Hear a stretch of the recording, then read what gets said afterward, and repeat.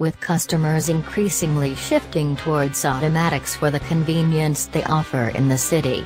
The upcoming Tata Harrier was always expected to have such an option. According to a report from Autocar India, it will use a Hyundai-sourced 6-speed AT.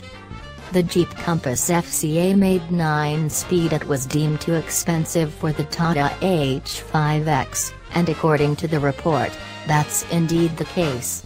So instead, Tata Motors has decided to source a 6-speed gearbox from Hyundai, possibly the same unit as the Hyundai Creta.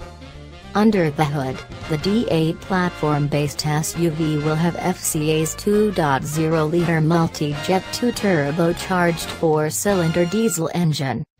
The Hyundai transmission is well suited to the power and torque characteristics of the 2.0-liter Fiat diesel, and is significantly cheaper than the FCA transmission, so it made more sense for us to use it, a Tata Motors source told the magazine recently. Interestingly the larger Tata Hexa sources an automatic transmission from General Motors, not just the Tata Harrier, code name, Tata H5X, its 7-seat version code name Tata H7X will also use the Hyundai-sourced 6-speed automatic transmission. Both models will get a 6-speed manual transmission in the lower grades. The 5-seat version will employ a 140 horsepower version of the 2.0-liter diesel engine while the 7-seat version will sport a 170 horsepower version of the same.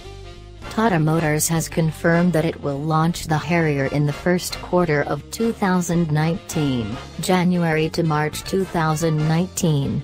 The Tata Harrier is expected to start at 12 Indian rupees lock-to-lock horns with the Hyundai Creta and Jeep Compass variants. For more updates subscribe Moto Guru.